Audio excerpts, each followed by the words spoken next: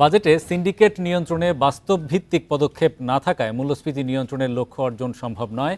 এছাড়া বাজেটের অর্থায়ন দায় দেনার ওপর নির্ভরশীল হওয়ায় অর্থনীতিতে সংকট আরও বাড়বে।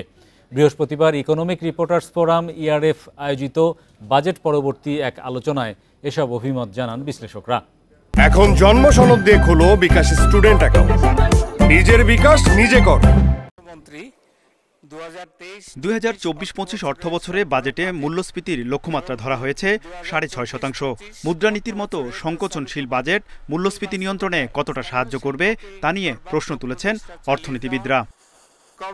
বৃহস্পতিবার ইকোনমিক রিপোর্টার্স ফোরাম ইআরএফ আয়োজিত বাজেট আলোচনায় বিশ্লেষকরা বলেন মূল্যস্ফীতি নিয়ন্ত্রণে বাজেটে বাস্তবভিত্তিক কোনো পদক্ষেপ নেই। বাজারের সরবরাহ নিয়ন্ত্রণ করা সিন্ডিকেশন এইগুলো তো রয়েছে। আর তার পরেও রয়েছে যে আমদানি এই যে আমাদের যে ডলারের টাকা ডলারের বিনিময় হার বাড়ানো হয়েছে সঙ্গত কারণেই বাড়ানো হয়েছে কিন্তু অন্যদিকে আবার আমাদের আমদানি কস্টলি হয়ে যায় আমদানিও বেড়ে যাবে। তো সেই প্রেক্ষিতে এই মূল্যস্ফীতিটা অর্জন করা মূল্যস্ফীতির হার অর্জন করা অসম্ভব ব্যাপার। বাজেটের অর্থায়ন এখন দায় দেনার উপর নির্ভরশীল হয়ে পড়েছে জানিয়ে বিশ্লেষকরা বলেন এতে অর্থনীতির সংকট আরও গভীর হবে।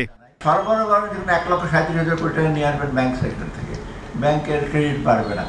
ব্যবসা বাণিজ্য উজ্জীবিত না হয় কর্মসংস্থানে কর উঠাবেন করতে ট্যাক্স করতে উঠাবেন? সোর্স কি? ইন্ডিয়ার একটা বিশেষত্ব শর্টকাট বেতে টাকা উঠাবে ব্যাস। লিকুইডিটি কম হয় তাহলে কিন্তু আরও সুদের হারের উপরে চাপ পড়বে।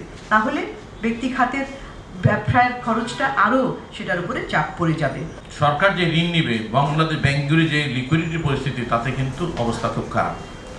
আর আমাদের দেশের যে আজকের যে রিজার্ভ নীল হওয়ার পেছনে যে কারণটা কেউ বলেন না আপনারা আমরা বিদ্যুৎ আনছি আমদানি করে ডলারে পরিশোধ করছি বিক্রি করতেছি বাংলা টাকায় আপনার রিজার্ভ কোথেকে থাকবে?